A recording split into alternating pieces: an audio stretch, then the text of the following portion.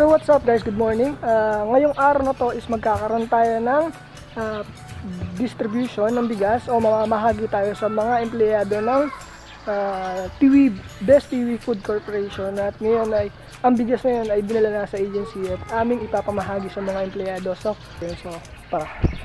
Tara Bin! So may kasama nga pala ako, meron tayong import at kasama natin siya ngayon para tumulong sa sa ating pamamahagi. Kaway ka naman. so yun na, tara, alis na kami. Pupunta na kami sa agency. So yun na guys, no, good morning. At nandito na nga tayo sa agency at dito natin gaganapin at itap titimbangin yung mga bigas para ipamahagi sa mga empleyado ng TV. So ito yung agency natin. Ito yung ipamimigay na bigas. Nakikita nyo. Ito yung ipamimigay na bigas natin. galing sa... Hello ma'am. Okay naman. So yun yung pamimigay na bigas na galing sa ating kumpanya. Uh, ipapamahagi ng ating agency ngayon. So, sisimulan na natin ang ating pagtitimba. Sa tunguna ng ating magandang binibini, si Ma'am Mimi. Okay, Ma'am? si ate. Shoutout po kaya. Ang aga niyo ah. Ako, bago 7 Anong oras kayo pumunta rito? So ayun, mag-uumpisa na pala kayo Hindi na magtimbang. on the way ng on the way. eh. Yung on the way ko, ngayon ako nakarating. So tara, simulan muna natin magtimbang. So ayun na guys, no? Biglang ka nakamukan na kukuha. Good luck po sa mga kukuha ng mga bigas dito. Napakadami na to. So ayun nga, ayusin muna namin at i-prepare muna namin yung pagkikilusan namin at medyo masikip. Ah, guys, itong i-distribute nating bigas, take note not once but twice. Dalawang beses nagbibigay si kumpanya ng bigas. Tsaka, ang pinakamaganda pa rito is 10 kilo ang binibigay nila. Noong una 10 kilo, tapos ngayon 10 kilo ulit. So, sobrang bait talaga ni Best Food Corporation. So, shoutout sa'yo, boss. At hindi ko na kailangan i-mention ang pangalan mo. So, kasi baka mamaya privacy yun. Ah, tara, simulan na natin. Ayusin muna tayo, prepare muna tayo.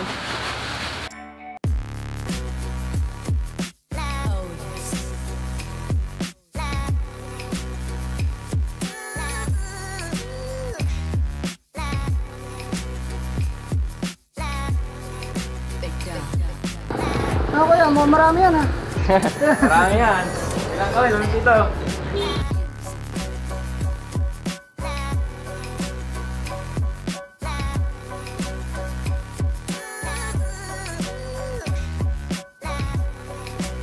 So yun nga guys, no? nandito si Kuya Hari para mag-distribute ng bigas para sa ating mga trabaho sa ating kumpanya at mag-deliver na to.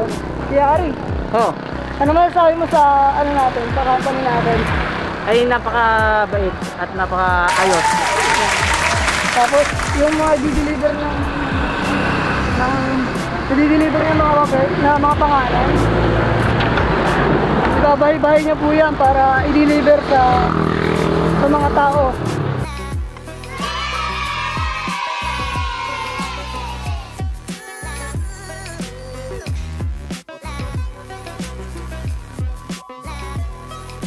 So yun na nga guys, no? patapos na yung ating uh, pagre-repack at yung iba nakuha na rin. So tingnan natin sa kabilang side.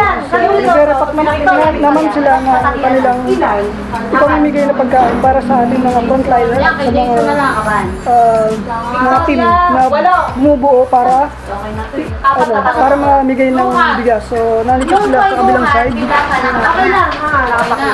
Sila po,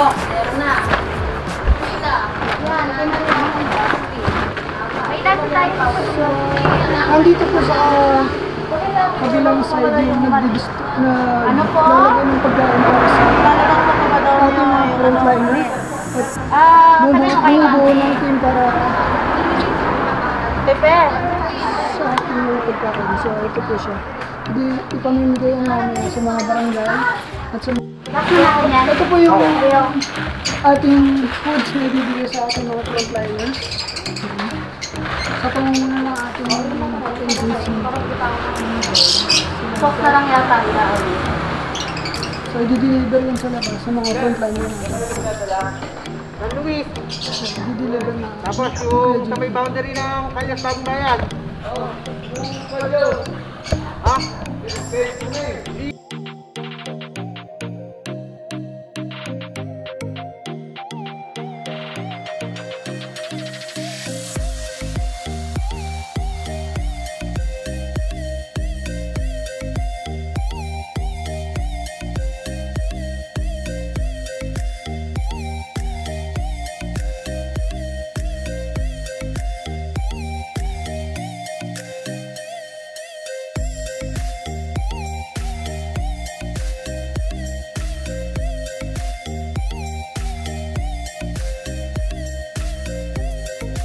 So yun na nga guys, no? tapos na ating dis- distribution ng ating ah, bigas. At nagpapasalamat po kami sa aming company at sa agency at sa bu- bumuo ng team para ma ipamigay ito sa mga tao. So, magpe-prepare na kami para umaya. Tapos, take note guys, meron pa kami lang merienda. Thank you ma'am. Thank you po sa mga bumuo nitong Thank you sa ating Ginamat na ang mga bigas. Ma'am, hello. Busy si ma'am. Busy pa sila lahat. So, pauwi na kami. Oh, picture tayo. Sige, sige, sige.